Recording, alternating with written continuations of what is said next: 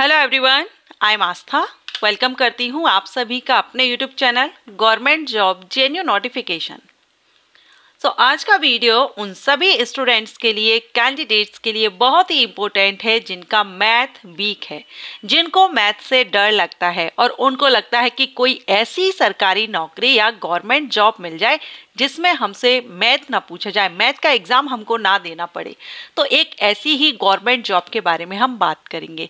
वैसे बहुत सी अगर हम देखें, मैक्सिमम जो रहेंगी, वहाँ पर आपसे मैथ पूछा जाता है, लेकिन फिर भी कुछ पोस्ट या कुछ जॉब ऐसी होती हैं जिनका एग्जामिनेशन जो होता है, उसमें मैथ नहीं पूछा जाता है। अलग अलग सब्जेक्ट्स पूछे जाते हैं, सभी जगह आपने देखा ही होगा।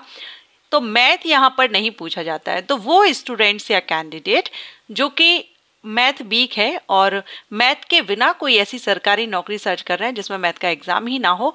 एंड आप ट्वेल्थ के बेस पर अगर सर्च करें मिनिमम क्वालिफिकेशन आपकी ट्वेल्थ होनी चाहिए। फिर अगर आप ट्वेल्थ के बाद आपने ग्रेजुएशन भी किया है तो भी आप इस जॉब इस वैकेंसी के लिए अप्लाई कर सकते हैं।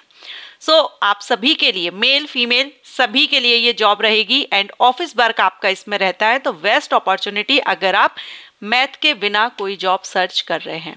एंड अगर हम 2024 की बात करें तो 2024 में इसी मंथ में इस पोस्ट पर वैकेंसीज रिलीज़ होने वाली हैं।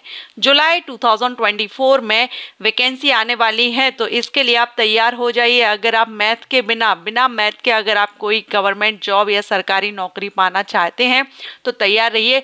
एंड चैनल को सब्सक्राइब करके वेलाइकन के ऑल ऑप्शन को प्रेस करके रखेगा, जैसे ही नोटिफिकेशन रिलीज़ होगा फुल इन्फॉर्मेशन के साथ आपको वीडियो अपलोड किया जाएगा।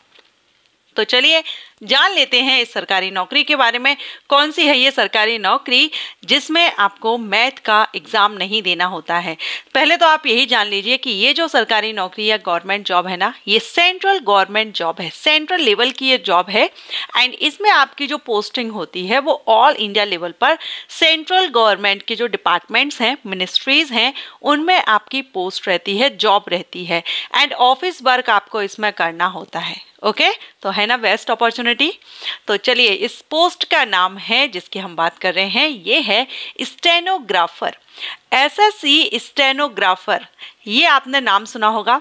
एसएससी के द्वारा अलग अलग नोटिफिकेशंस रिलीज़ होते हैं। उसी में से एसएससी स्टेनोग्राफर की वैकेंसीज भी रिलीज़ की जाती हैं। इसमें एसएससी के द्वारा जो स्टेनोग्राफर की वैकेंसी आती हैं, ये दो तरह की आती हैं। Stenographer grade C and stenographer grade D grade C की जो पोस्ट होती है, ये ग्रुप बी के अंतर्गत होती है और ग्रेड ग्रेड डी की जो पोस्ट होती है स्टेनोग्राफर की, ये ग्रेड सी के अंतर्गत होती है। तो ऐसा सी स्टेनोग्राफर जो पोस्ट है, जो वैकेंसी है, ये जॉब है सेंट्रल डिपार्टमेंट्स में पोस्ट रहती है आपकी। एंड इसका जो सिलेक्शन प्रोसीजर है, इसमें आपका रिटर्न एग्जामिनेशन होता है सिंगल एग्जामिनेशन है, इसके बाद आपका स्किल टेस्ट होता है, क्योंकि आप सभी जानते हैं स्टेनोग्राफर की जो वैकेंसी होती है, इसमें स्किल टेस्ट लिया जाता है। तो अगर अभी इसका नोटिफिकेशन नहीं आया है, अगर आप चाहें तो अभी स्किल टेस्ट आप सीख सकते हैं। स्किल टेस्ट मीन्स इसमें स्टेनोग्राफी का टेस्ट होता है तो स्टेनोग्राफी आप सीख सकते हैं। ओके? एंड इसमें uh, जैसे कि हम एग्जामिनेशन क्योंकि हम यहाँ मेन जो पॉइंट है वो यही है कि ऐसी गवर्नमेंट जॉब या ऐसी सरकारी नौकरी जिसमें मैथ ना पूछा जाए। तो हम वही सरकारी नौकरी यहाँ पर देख रहे हैं। तो सबसे पहले हम इसका एग्जामिनेशन पैटर्न देख लेते हैं किस किस सब्जेक्ट से क्वेश्चन किए जाते हैं। तो अभी आप स्क्रीन पर देख रहे हैं स्कीम ऑफ़ एग्जामिनेशन तो इसमें आपका कंप्यूटर बेस्ड एग्जामिनेशन होता है जिसमें आपके तीन सब्जेक्ट्स रहते हैं।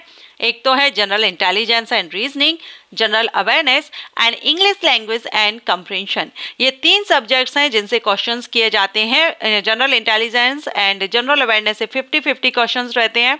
इंग्लिश लैंग्वेज से आपके 100 क्वेश्चंस रहते हैं 100 मार्क्स के। So total 200 question 200 marks and two hours की टाइमिंग इसमें आपको दी जाती है। ऑब्जेक्टिव टाइप एग्जामिनेशन होता है एम टाइप्स क्वेश्चन रहते हैं and there will be negative marking one third mark minus किया जाता है, अगर आप रॉन्ग आंसर देते हैं तो आंसर आप केयरफुली दीजिएगा। लेकिन इसमें आपका मैथमेटिक नहीं रहता है, जिससे कि ज़्यादातर जो कैंडिडेट और यही हमारा जो ये वीडियो है, इसमें मेन पॉइंट यही था कि हम एक ऐसी सरकारी नौकरी देखेंगे, उन कैंडिडेट्स के लिए जिनका मैथ वीक है। तो अगर आपका मैथ वीक है तो आप इस एग्ज़ाम को दे सकते हैं, लेकिन आप यहाँ पर स्टेनोग्राफी सीख लीजिए, क्योंकि स्टेनोग्राफर की वैकेंसी है तो शॉर्ट हैंड आपको आना चाहिए। सो शॉर्ट हैंड आप एक बार सीख लीजिए, जुलाई मंथ में नोटिस रिलीज़ होने वाला है। तो अभी आप सीख लीजिए, क्योंकि स्किल टेस्ट आपका काफ़ी बाद में होता है, रिटर्न एग्जामिनेशन होगा, उसके बाद होता है। तो अभी आपके पास टाइम है, शॉर्ट हैंड आप सीख लीजिए। ओके सो फुल इंफॉर्मेशन के साथ वैसे मैंने वीडियो अपलोड किया है, लेकिन आगे आपको एक वीडियो दूँगी जिसमें आपको एलिजिबिलिटी क्राइटेरिया सिलेक्शन प्रोसीजर के साथ क्वालिफाइंग मार्क्स वगैरह एंड ऑल इंपॉर्टेंट पॉइंट्स को कवर करूँगी। अभी ये जो वीडियो था, ये सिर्फ़ इतना ही कि कौन सी ऐसी जॉब है जिसमें मैथ एग्जामिनेशन नहीं देना हो आपको तो S S C stenographer vacancy इसमें ग्रेड सी एंड डी के लिए वैकेंसीज आती हैं। ओके सो आशा करती हूँ आप सभी को ये वीडियो पसंद आया हो, जिनका मैथ वीक है, उनके लिए वीडियो अगर पसंद आया है तो वीडियो को लाइक एंड शेयर ज़रूर कीजिएगा। Thank you